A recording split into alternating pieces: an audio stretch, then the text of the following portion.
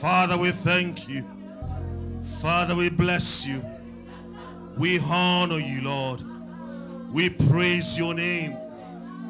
Why not just exalt the name of God? Why not just magnify his goodness? Why not just thank him? Why not just love him? Show him gratitude. Show him how much you praise him. Show him how much you love him. Show him of his goodness. Show him that he's good. He's kind. Tell him how beautiful he is. Beautiful beyond comprehension. Oh, we thank you, Lord God. We adore you. We exalt you. Oh, we give you praise. We rejoice in you, Lord. Our heart gladdens you, God. We are thankful, O God, unto you. Blessed be your name. Thank you, Lord. Father God, we bless you. Father God, I bless you. Why not just tell God you love him? You know, God has kept you. God has kept me, you and I, until this very last day of this year, 2023. If anybody has told you you will last this long, the way you are, you will have doubted it. But God knows that He loves you. Why not just wave to Him this morning and just say, Thank you. I have nothing else to say but thank you. Lord, you've been kind to me. Thank you. You have been good to me. Thank you. You have been merciful to me. Thank you. You have been faithful to me. Thank you. Even when I never think you are doing anything good, you have just been so kind. I just say thank you this morning. I rejoice in you. I love you, oh God. Father God, I bless your name. I give you praise. I love you, oh God. Father God, accept this incense of our worship. Father God, remember we are human. And this is just a token of our expression of love to you. How we just thought about it that if not for you, if not that you were just mindful of us, how we could have been written off, how we could have been forgotten, how could, we could have been dismembered, how we could have been written off and just made to become nothing. But you are so good to us. Your goodness excel every of our imagination. This morning we have nothing to do but to come and thank you. To say, accept this incense of our worship. We have rejoiced here, oh God. We are thanking you. We are singing. We are dancing. It's because we know that you mean so much to us. In our limitation, oh God. Father God, accept this incense of our worship. Father God, we bless you. We honor you. We adore you, O God. In Jesus' mighty name, we have given thanks. Amen. Praise the name of Jesus. Praise the name of Jesus. Hallelujah. Hallelujah. Hallelujah. Before you sit down this morning, just look across the auditorium and look at somebody and say, God has been good to me. Say it with say it with attitude. God has been good to me. For those of you on the digital platforms watching us, God has been good to me. He's been good to me. That's why I'm here this morning. God has been good to me. He's been so kind. Wow. Father God, I thank you. Hallelujah. May please be seated in God's beautiful presence. You know, as we were all coming into church this morning, one of our wonderful beloved sisters, her car just, you know, stopped on her just at the entrance of the church.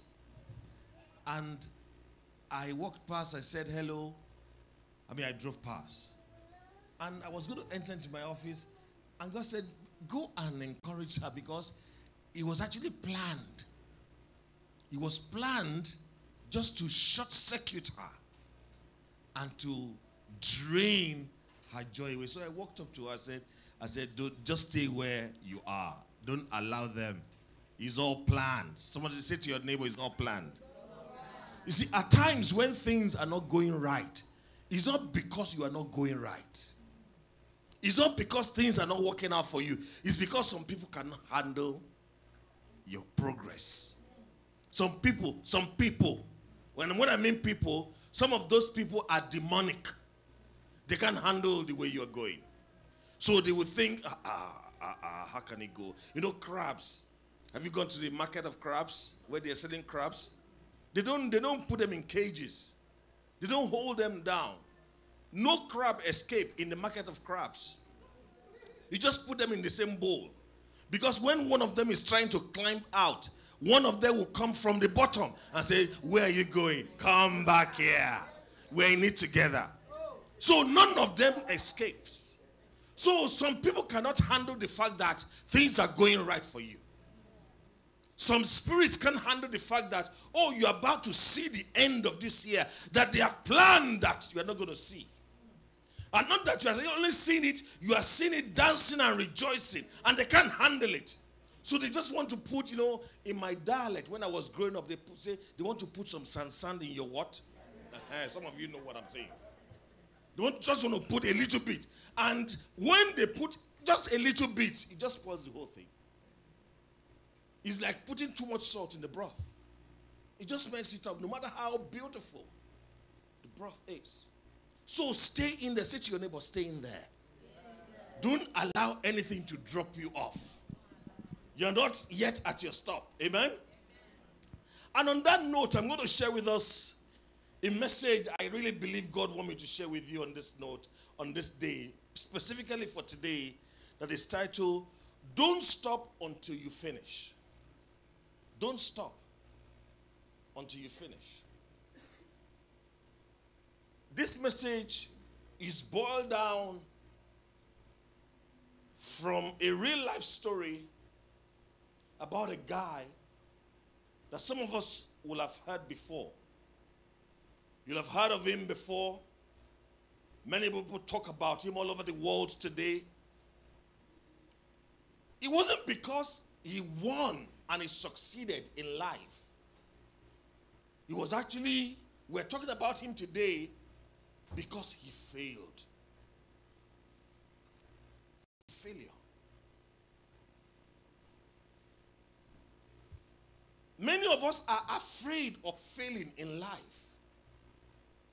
In fact, the thought about failing crippled so many of us so much so that we are determined to do anything and everything that is conceivable, good or bad, just to make sure that you are not cut. You will do anything. You will buy yourself out. You will bribe yourself out. You will talk yourself out. You will do whatsoever it is just to make sure you're not counted as failure. I'm talking about no other person this morning than a man called John Stephen Akhwari. He's a Tanzanian and he was not afraid of failure. In fact, when he realized that he was about to fail, he decided that he will fail gallantly. So much so that failure later refer him and regarded him as success. You know, when you fail, and failure also referred to you as fail. That was the way he failed. The question is not whether you failed or you, you are victorious or you passed.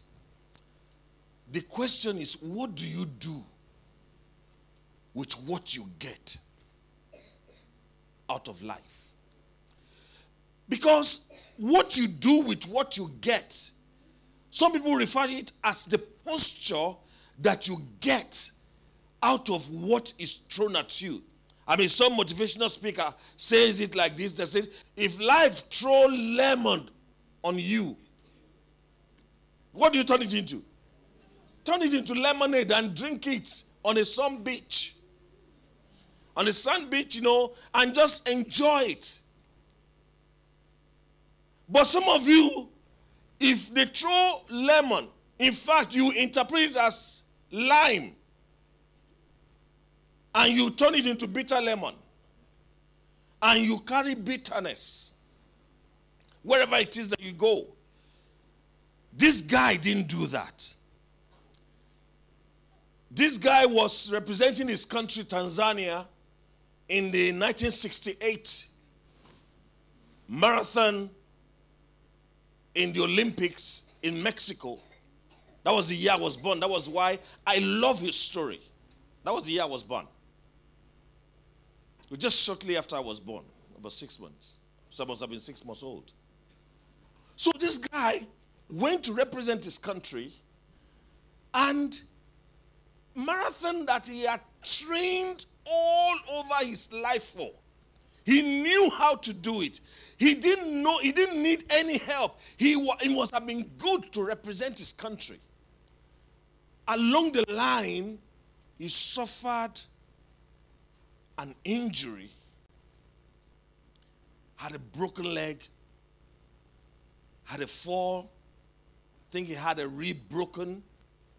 His side was bleeding, his head was broken. And then they were going to, you know, stretch him out of the track. He said, No. He said, just, just help him and bandage him up. And they bandaged him up. And then he started to continue to do the marathon, limping and galloping and just doing it.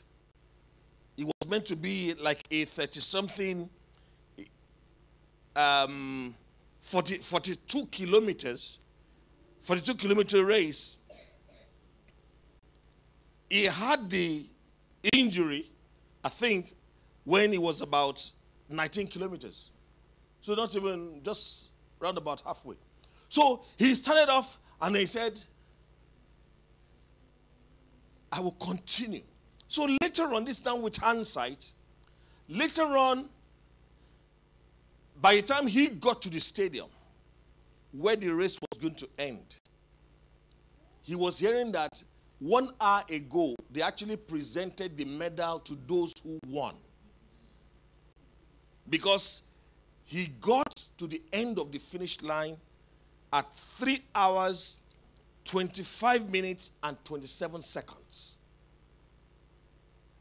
That was an hour after all the people who raced and the people who won have been given their medals. The whole stadium had gone home. Some people were still there, but he continued the race. Some people were shocked to hear that there's still one person still running the race. So they stayed to want to know who is this person. After they had finished and they had both started going, some other journalists who were covering some other events heard that there was one person who was still running the race that finished one hour plus ago. So they abandoned the race that they were, I mean, the, all the other events they were, that they were covering and rushed down to come and see the failure. He said, ah, ah, what is on his mind?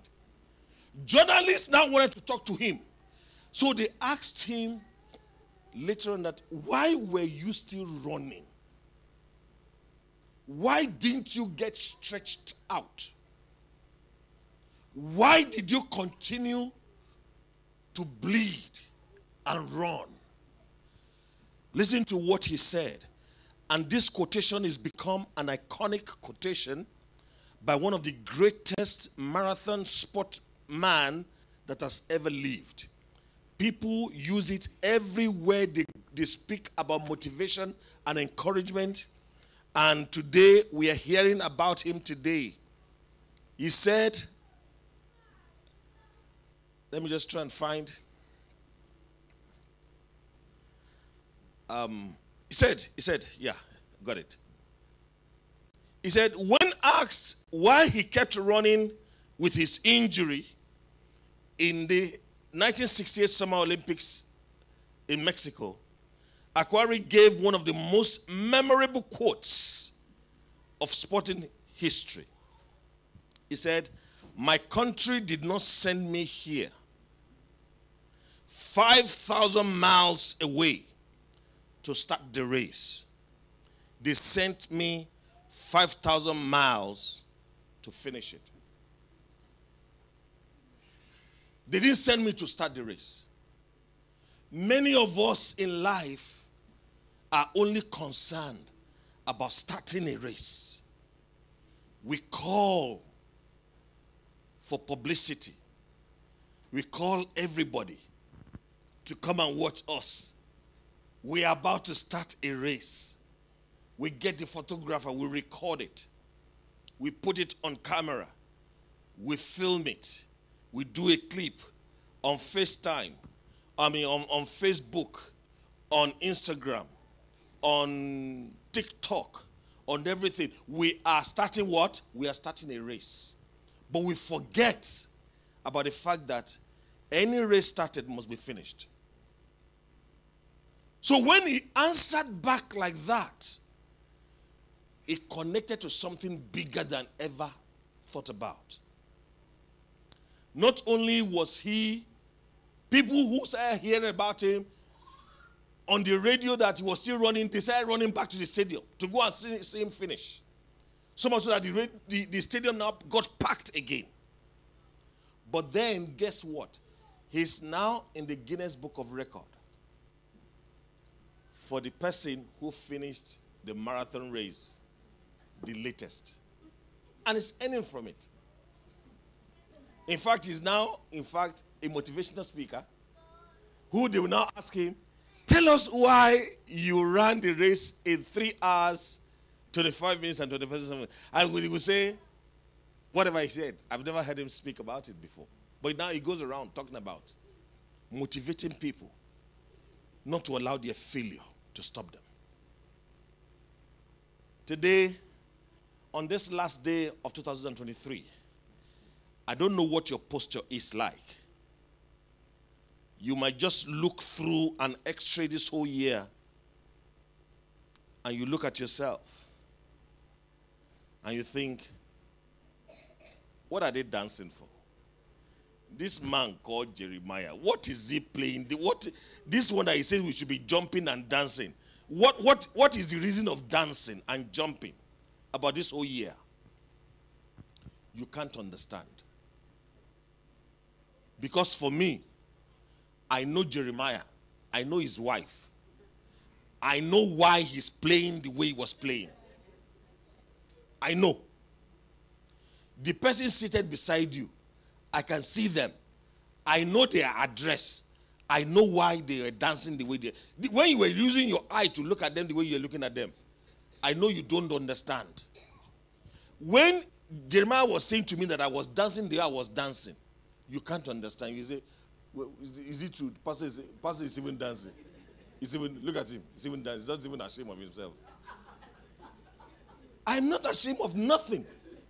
Not ashamed of you not ashamed of the devil, not ashamed of my enemies. Why? Because I know what God has done for me. I know. You can't understand. If I tell you just a bit of what God has done for me, your eye will be full of tears. Because God has done beyond the normal. And this is the posture that this guy, Akhwari, had when he saw failure staring him in the face. He was going to decide Am I going to give up? Or am I going to pick up my strength? He made up his mind that, you know, the people that got the medal that day, that won the race, some of them, they might even have stolen the medal from them. They could even have lost the medal. We don't even know their name. In fact, I've never heard who won the marathon race for that, for that year. But for him, who failed gallantly, we're still hearing his name till tomorrow. Books have been written about him, conferences, his name has been mentioned in conferences all over the world. Why? Why? Because his posture was right. This morning, is your posture right? That's why I'm cautioning you don't stop until you finish. You know, in life, for this guy, failure positioned him to become one of the most famous Olympian and even got him into the book, the Guinness Book of Records. When asked, we read what he said, and then Akhwari gave that statement that has become an iconic quote. And he was like the thief on the right hand side of Jesus. You know, he will have died and be accounted for as an armed robber like his brother or his friend on the left hand side. But he picked, even at that last minute, he picked the right posture. That I know I've been bad. I know I've not done right with my life. But this guy, this guy that they are treating like this, I think there's something that's just different about him. And he was cautioning his friend, don't talk about this man like this. Don't you just don't you don't have any fear or regard? And that statement alone edged him into eternity and gave him a victory in life. Just that chance. Think about the chance you have today. You know, we're singing, thinking about the God who has healed us, who have helped us, who has saved us. Not only in 2023 or that we will do in 2024, but even between now and 12 midnight today, there's so much that God can do for you that will so much blow your mind as to the nature of the God that you serve we often measure success and victory from the reports that other people award us and based on the little understanding that they have about us. So you went to school for four years and then you studied a career and then you got an A class. I mean, a first degree, I mean, sorry, a first class. And then you go to first class, and then you start going around in life like first class. Meanwhile, in your life, there's nothing that is first about it. Because what makes your first class to become something is what you do with the first class after it. It's not a certificate. If you just show me a certificate that shows first class, I will sit you down and try you. Many people have shown first class certificates and then they've been tried and they are dullards. I read in the, in, in, in the news a few days ago that in some countries now, you can go there and instead of studying a career for four years, they can actually say if you can pay the price for two weeks, four weeks, they will buy you a certificate that will give you a BSc and a PhD. And you just pay for it. That is the nature of the life that we are. We allow people and the way that they measure us to get into our heads and make up our mind that this is who we are. Meanwhile, meanwhile, the who we are is really what is God accounting you to be? What is life accounting for you that you are? Who are you? What are you? And you know what I'm talking about. If you sit down, you one on one with God, you know that you are nowhere near what you call yourself in public. All you need to do is allow God to x-ray and for me allowing God to x-ray my heart and show it to everybody that this is who this guy is really is. How many of us can handle that? Can you handle God putting your heart on the screen for all of us to see? That is what is going to be on the final day of judgment.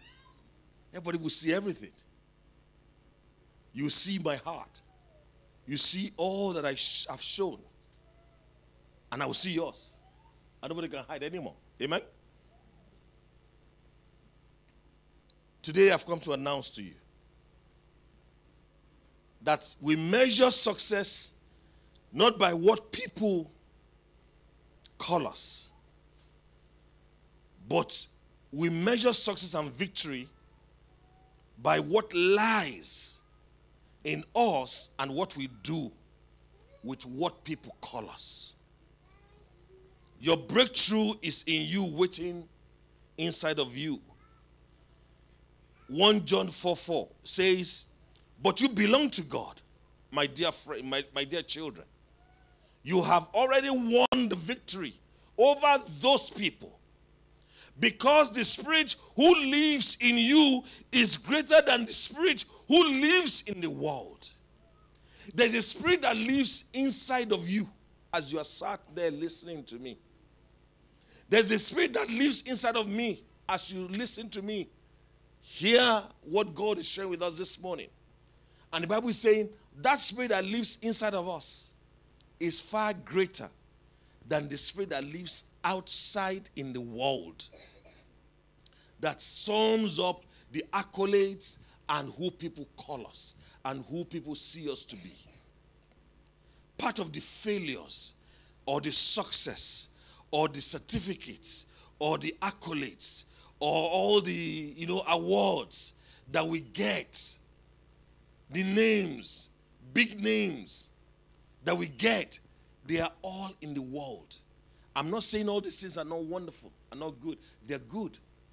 By all means, I encourage young people and children to go to school and study well.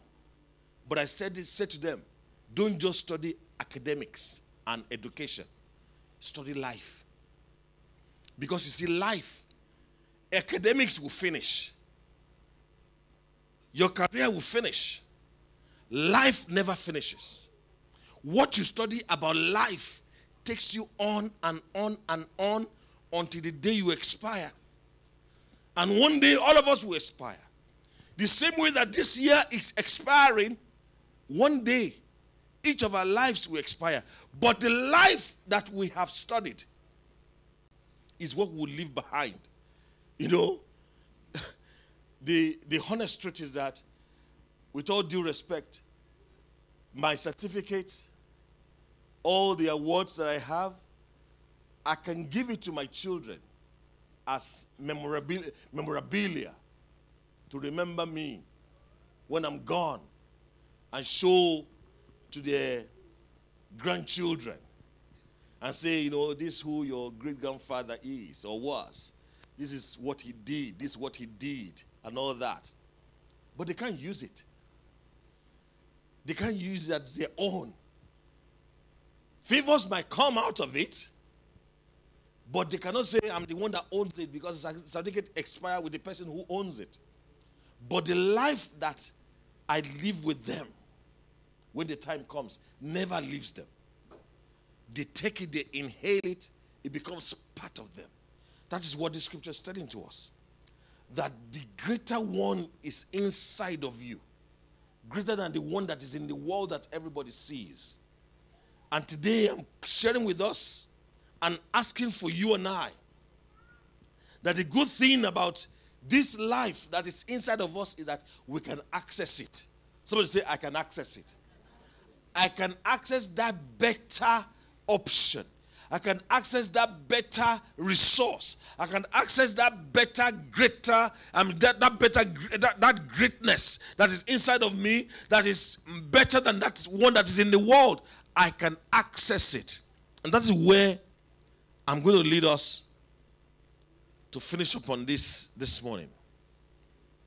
In John chapter 1, from verse 1, it says, In the beginning, the Word already exists. The Word was with God, and the Word was God. He existed in the beginning with God. God created everything through him, and nothing was created except through him. The Word gave life to everything that was created, and his life brought light to everyone. I come to say to you this morning that the only way that you can access that greater greatness that is inside of you is when you can find your way back to the source. Who is the source? The source is the one from whom everything was created. Is the man Jesus. If you can find your way back to Jesus, you have access to everything the thief on the right hand side of Jesus, what did he do? He found himself back into Jesus. Even when the one on the left could not see, could not access, when the door was shut at him, he was able to trace his, his way back into Jesus. And what did he see? He saw life, even into eternity. Let's visit one more example in the book of Luke, chapter 17, verse 1 to 19. I'm not going to be able to read it. This is the story of the 10 lepers. These were 10 lepers, and they were leprous. They were, they were leprous, and they were at the far end of the town because they could not mix up with people. And they heard that Jesus was passing by. And they asked Jesus, Jesus, son of David, have mercy on us. And Jesus said, What shall I do? He said, We're leprous. And he said, Go and show yourself to the priest. Because at that time, those who were leprous are not allowed to come in the midst of people. They were made to go and stay at the far edge of the town so that they don't mix up with people. So the only way that they could mix up with people is if the priest, priest and they got license and passed to say, okay, you are okay. You can go back into the city. You get me? So Jesus said to them, go and show yourself back to the priest. Let's see what happened as they did that. The Bible records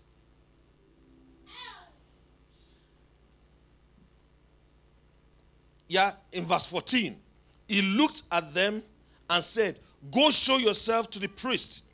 And as they went, someone say, as they went.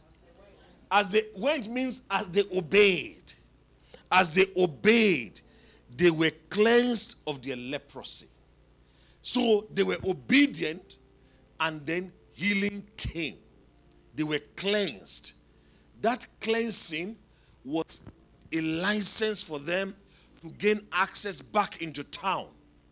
But then Something now happened. In the frenzy of the excitement that they have been healed, that they have been cleansed, that they have been given access to return back into the city, nine of them took off, went and started throwing parties, went and started rejoicing, sharing the testimonies. They're saying, they, you know, they, they started picking up the fact that, oh, wow, let me go and see the person I've not seen for ages. Let me go and tell that person that said I would never come back to town that I'm now back in town. I'm now back in town. God has healed me. They started going all around, but they forgot. They forgot what was most important. What was most important? The person who sent them to go and see the priest. One of them got a right posture the same way that Akhwari of Tanzania picked up the right posture from his failure and decided to look inward to what he could do better.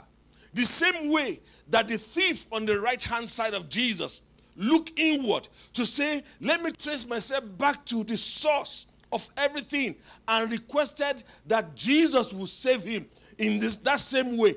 That one leper thought about it. That for me to have access back to my parents' house, back to my family, back to my job, back to my health, back to what I have never been able to do for the past three, four years. Have access to the things that God has given me chance to be reconnected to. I've got to go and give thanks. Let me go and see that man who sent me. He went back to Jesus just to say, Thank you for giving me this chance. I have seen the priest. The priest say I can actually go back. So I just want to come and give you a feedback. Giving that feedback was all that gave him the ability to finish.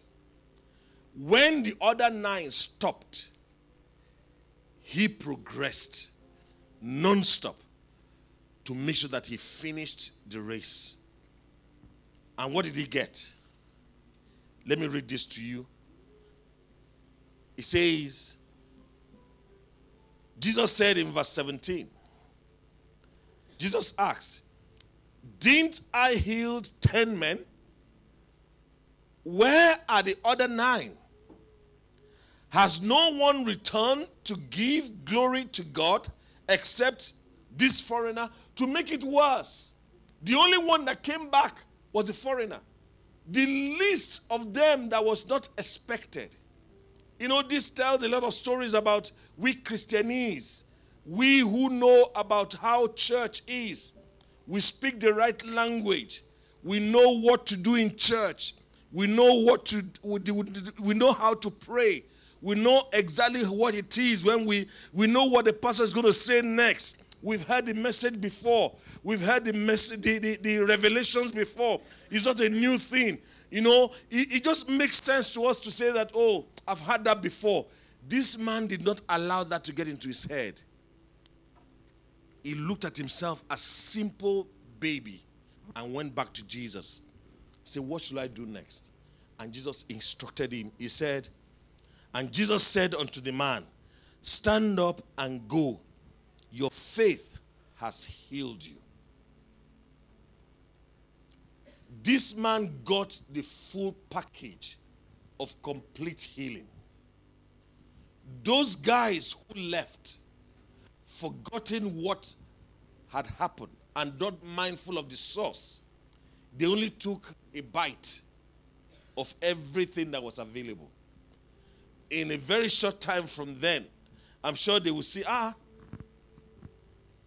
were we not healed the same time? How come you're now a lot better than us? Where I went back. You mean you went back? I thought I thought Jesus was going somewhere. Did he stay there? No, no, no. He went and looked for Jesus. He made sure he found Jesus out. He did not allow the fact that he got an access to God into his head. I want to caution you. I want to encourage you. I want to empower you. At this point that we are, on the brink of this exchange of 2023 and 2024, a lot of things transpire. And you determine what happens to you. The Bible says, By their fruits you shall know them. If you know a tree by, their, by its fruit, what determines the fruit that a tree is going to bring? is a seed. The seed ultimately determines the fruit. The seed of 2024 is already in you. What seed are you carrying for next year? The seed you're carrying is the posture for your 2024. So I'm charging you today. Carry the posture of the winner. Carry the posture of the one that has God on their side. Carry the posture of the one who is ready to do business with God. I'm going to end it here today, and I want to challenge you to be back this evening when we will journey along together in 2024. There was this set of beautiful prayers that Pastor Tony led us to pray last night at the Going for Gold. We prayed it from Isaiah 52, verse 1 to 3. And she's she's I've asked her to send me that prayer. We're going to send it on broadcast to all of you. If if you require some prayer that you can use to just get your mind prepared ahead of tonight, these are the prayers you should pray. Don't pray for a new car. 2024. No. Don't pray for a new house. All those things will come. Somebody say amen. amen. All those things, you don't need to pray for them. I had a man of God reminded us to say that, do you know there was a time, and I remember those times, that when we go to church, we never used to say prayer points. We never used to say, well, please, can you submit your prayer points to Apostle Balogun? Submit your prayer point. Prayer point, please. Submit your prayer point to Apostle Balogun. There was a time it never used to be like that. There was no prayer points in churches. What was there is people loving God. What we know was people loving God. And as you are loving God and obeying God, all those things are lining up following you. Following you. One of the quarrels that I had with Pastor Toy when we got married was that I never used to pray about my personal needs. I never used to. And today I still find it really have to be, you know, they are meant to follow me. I don't pray for them. All I need to do is do what? Do the king's business. Once you are doing the king's business, all those things follow you. They come with the package. They come along. Before you mention it, he knows you need it in 2024, don't pray for those things. They are Kit Kats. You can buy Kit Kat from the shop. Don't go and ask God for Kit Kat. Some of you now, if God just appear in front of you and say, What should I do for you? Do you know you have, you won't know what to say. Because what you have in mind is material things. Look for and ask for God for tangible things. So when we share these prayer points with you, pray them between now and 12 midnight when we get back in church. And let them set your mind ready. Media team, as we send that to you, please broadcast it once we finish the service so everybody can go home with it. If you want to have a nap, have a nap this afternoon. If you want to just sit down and just go and reflect, take a walk and just reflect on these prayer points, do them and let it set your mind ready for the rest of this year. And even as you are doing that, you will encounter God. Amen. And it shall be well with you in Jesus' name. Say to your neighbor, don't stop until you finish. Amen. Let's bow down our heads. Father, we ask of you that you will propel us to be yielding in the authority of this word that we have heard and plan on a journey with you. A journey that will set set the platform for us to be showcased as your chosen children. Why not just ask God to position you ready for the rest of this year and for the year that is coming ahead of us. Like I said, the remaining of the hours in this year, even though it's long spent, the year is just about to roll off, there's still so much more that God can do, God wants to do with you. before this year runs out. Ask God to say that God, I am ready for you. I'm ready and be determined, O God, to do business with you. Father God, I ask of you, strengthen me, keep me, position me, enable me. Help me, O God, to see you correctly. Father God, let my mindset be of them, O Lord, that is willing and ready. Lord God, I use this time to pray for our wonderful children who are with us in this service. Even though they are young heart, they are still very at a very young period of their lives. They are here listening and hearing us.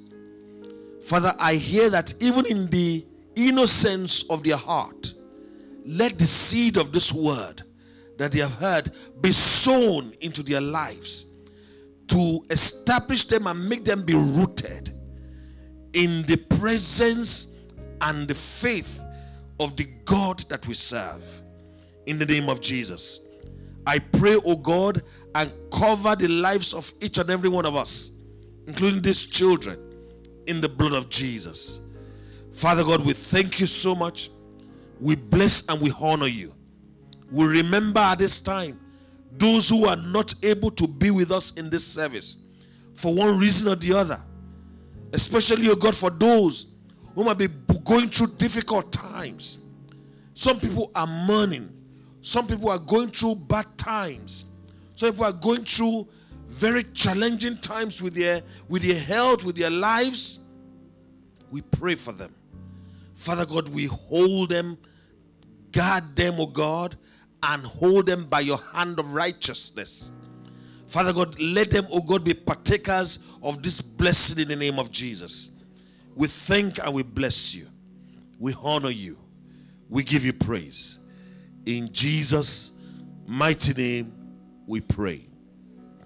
Amen. God bless you. Look forward to seeing you this evening at the watch night. Start at 9 p.m. The media team are going to show a clip to us on the screen just as I finish up, and then Pastor Christy will come and round up the service for us in a few minutes. God bless.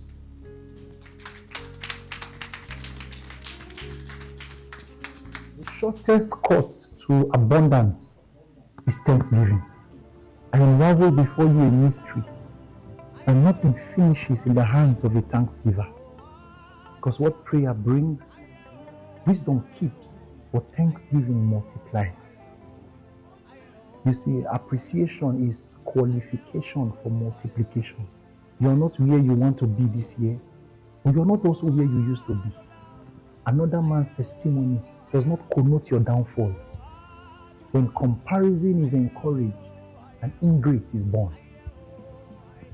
Thanksgiving is key to more of anything. And you see, even if things got worse for you this year, the fact that you can still have your senses intact to identify your problems is enough reason to give thanks. The madman on the street is not aware of his predicament. If you can think, you can thank. In all situations, give thanks oh, because something worse could have happened. Jesus healed 10 lepers, but only one came back and said thank you. And then Jesus asked a question. He said, Where are the nine?